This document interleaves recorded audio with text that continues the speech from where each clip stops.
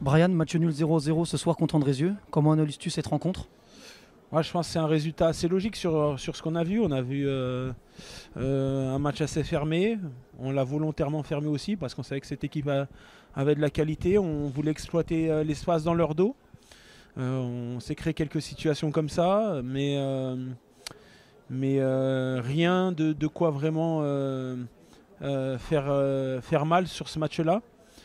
Et je trouve qu'on a plutôt bien défendu. Surtout, on a eu des, vraies qualités de, générosité, de, solidarité.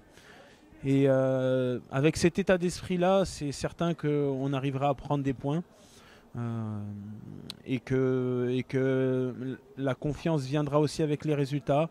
Voilà, on a gagné la semaine passée. On aurait aimé confirmer avec une victoire euh, ce soir, mais on prend un point face à une très bonne équipe. Avec ce contexte en deuxième période, on peut parler d'un bon point pris à la maison? Oui, on peut parler d'un bon point pris parce qu'on a joué très longtemps euh, à 10, quasiment toute la, deuxième mi-temps. Euh, il y a des faits de jeu qui auraient pu euh, rééquilibrer numériquement les deux équipes, mais malheureusement, aucun joueur d'Andrézieux n'a été expulsé et je pense que ça aurait pu être le cas. Mais bon, ça, c'est des faits de jeu. En tout cas, même à 10, on a montré beaucoup de solidarité, beaucoup d'abnégation. Euh, et, je pense qu'on mérite quand même ce point du match nul.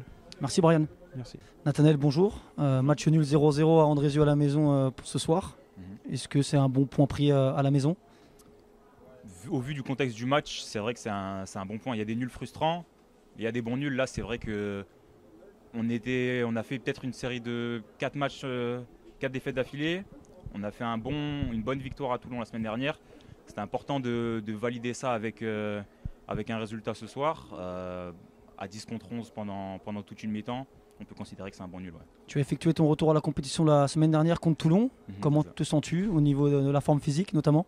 Bah, Ça va, là je retrouve euh, toutes mes sensations. Je, je suis, apte, je suis apte, là je suis à 100% disponible pour le coach pour, pour aider toute l'équipe à, faire une bonne fin de saison. Merci Nathanaël et puis bon match à Jura Sud la semaine prochaine. Merci.